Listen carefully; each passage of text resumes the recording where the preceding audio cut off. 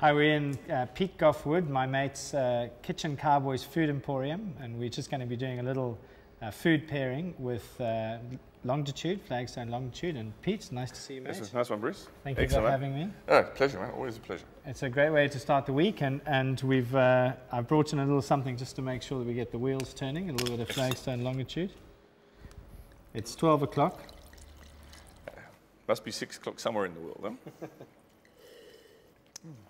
Okay, so I think on the nose, what's great about this wine is that it's got um, a real explosion of red berry fruit.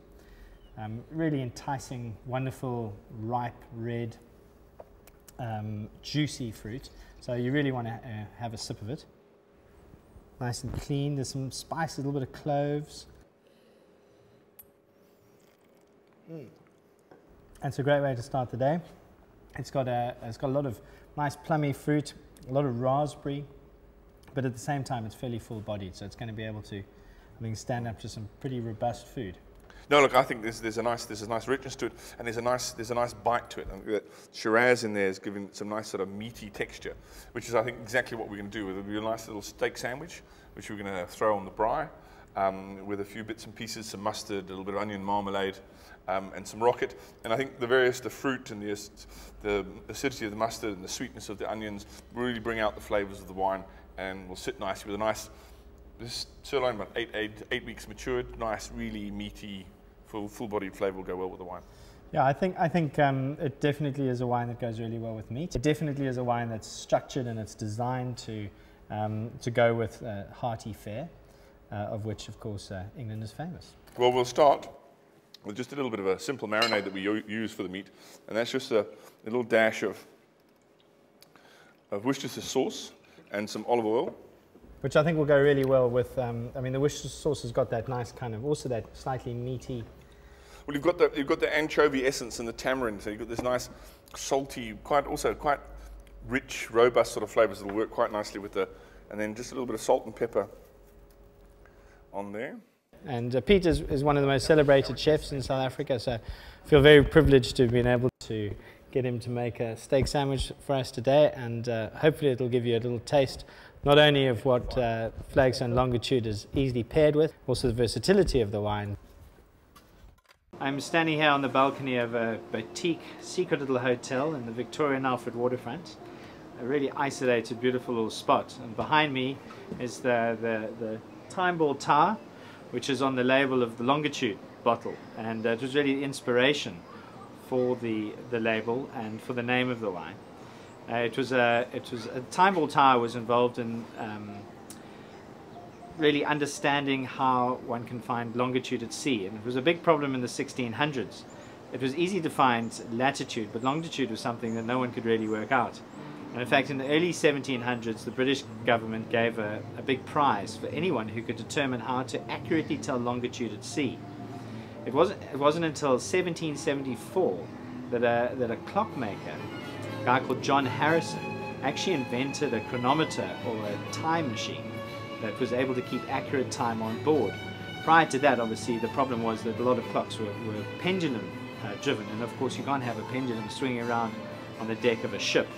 So, around um, all the British colonies, time ball towers were built because uh, at uh, 12 o'clock every day, the ball gets hoisted up and dropped down again, and the mariners at sea, the ship's captains, would be able to determine whether or not their chronometer was losing time or making time because obviously they were all made out of wood and in certain uh, conditions they lost time and in other conditions they gained time and it was a way of keeping accurate time on board ship.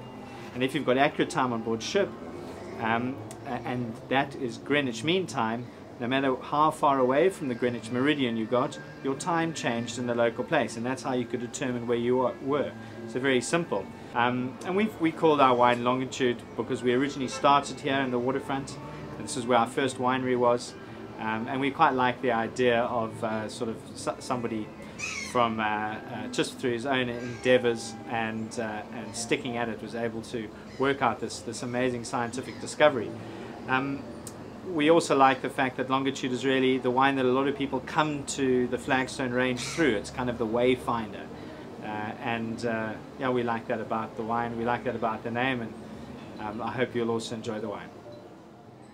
Okay, we want a nice hot fire, some seriously hot coals, because obviously we want it to get nice and charred on the outside. We've cut quite thick 200 gram pieces. Um, and so we get a nice char on the outside. We'll keep it nice and moist and pink and medium rare on the inside. I, I, belie- I believe you're not allowed to braai in South Africa without a glass of wine. Yeah, there's a, it's actually against the law. Yeah, I've Yeah. seen that. I mean, I've, Yeah. s- I've seen people go to jail and Yeah, no, no, it's, it's, things. it's really is quite, uh, you know, and us being law-abiding citizens. Yeah. Cheers, Yeah. mate. It's a bit of longitude. Mm. Oh, magnificent. And the nice thing about it is, while it's got a little bit of body and a bit of structure, it's not, it's not too heavy that on a nice hot day like today, you could still, still say drinking this out in the sunshine, it's, it, there's enough, there's enough um, elegance to this that doesn't over, there's not one of these heavily chewy wines that, that you need to hunker down in seven feet of snow to drink. This is actually quite nice on a hot summer's day. Well, I think what, what, we, what we've always tried to do at, at Flagstone is to, particularly with our red wines, to make wines that have the body but also have the elegance. So it's a wine uh, that uh, I think is always going to find um, favor, particularly in a restaurant setting with food. Yeah. People sit down, they want to have a little bit of a glass of wine. There are going to be different tastes and flavors and things going on at the table. Can have can have a sip of it without food, but it can also it re- it'll really complement yeah some serious some seriously um, solid fare. And I think what uh, the thing about Flagstone is that, and it's, it's, it's something that a lot of people tell me who work in restaurants, that if you manage to get a table to order a bottle of Flagstone, your tip just magically becomes more.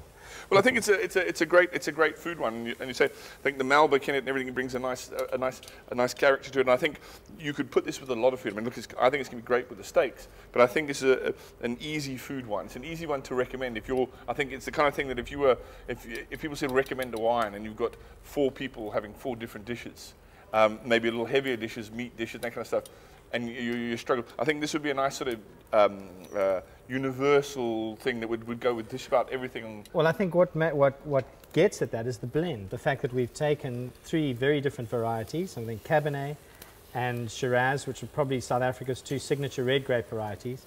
And then we've, uh, we've blended it with about 15% of Malbec, which is traditionally from South America, Yeah. but which in South Africa, is, it's, we've had Malbec in South Africa for almost as long as South America. Really? It's just never been an important grape variety for us. So we have our own specific selections, which really um, suit our climate, suit our soils, and it gives it that incredible jamminess Yeah. which, you, which you get, which is not overly jammy, it's not dead fruit, but it, it just gives a wonderful dark fruit character to it, which, uh, which is very yummy, I think. So you've got the structure from the Cabernet, got the spice from the Shiraz, and you've got this yummy fruitiness from the Malbec. And that combination allows you to, uh, to pair the wine with a whole lot of different food. But this would this would stand up to a bit of spice. Um, a little a little lamb rogan josh would go down nicely with this. Um, there's a number of different things you could do. And this Uh, would go pretty well with curry, actually. Yeah. Mexican food, bit of Mexican food.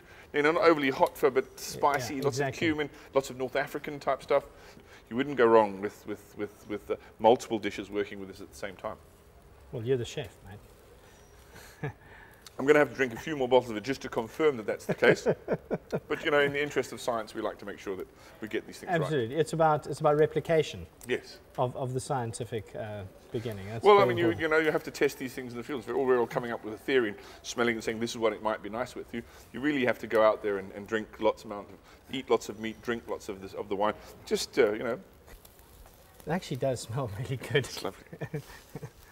But I mean, just with the with Yeah, the, no, the when you get the smoke. Yeah, and the and pepper. you're getting and you're getting Yeah. that coming off the braai. It's it's got it's it's amazing just on the just on the Mm. nose. If it's going to work on the nose with the the aromas that are coming off the food, yeah, certainly. Huh? I'm glad I haven't eaten for about four days. I kind of, I kind of forego, forewent breakfast because I knew we were going to have a bit of a monster steak sandwich for lunch, so I, I did the same. Yeah. And what you'll see, what we've done is with the steak is traditionally we've taken a sirloin and we actually cut it half lengthways. Yeah, so what we can do is we'll give a 200 gram steak that's much thicker. Excellent.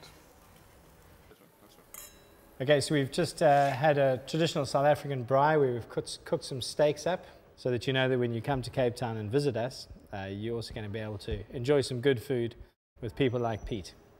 Go for it, Pete. Excellent, thanks, Bruce. Well, this is our traditional kitchen cowboy steak sandwich. We do this down the old biscuit mill Saturday mornings, and this is a, a bit of a signature dish of ours. We start off with a nice toasted bun, a little bit of olive oil, then we get a nice, good bit of rocket, nice peppery rockets. Also, once again, working with the spiciness that was element that was evident in the wine. You could use other lettuces, but the, the nice bite of rocket Yeah. just gives it a nice, Absolutely, gives yeah. it a good sharpness. It's a good, little fresh tomato, and then we're going to get ourselves a bit of steak and we're just nice and Perfect. And then we're just going to finish that off with a touch of Dijon mustard, which we'll put on the lid there. Touch of Dijon. And then this, this onion marmalade or onion chutney is just, this is onions, red wine, red wine vinegar and sugar that's been cooked down for a couple of hours. Get a nice sweetness to it, nice sort of sweet savory that once again works perfectly with the, with the combination of the wines. And that is breakfast. is our, is our breakfast of champions. We're just going to cut those in half. Cool. Mm. Dude, we rock. Cheers. And with the wine. Mm. Well, you've got, you got the different layers of the sandwich. You've got the pepperiness, you've got the meatiness, you've got the sweetness. And it's picking up the layers in the wine. You're picking up that it's, that it's a blend and you're getting different elements that you wouldn't get from one cultivar. And, and it, this, the sandwich complements the wine perfectly. So this is how we do it. this is a, a steak sandwich of South Africa. A nice glass of longitude. And um, I can see the rest of the day looking quite rosy at this stage. Enjoy.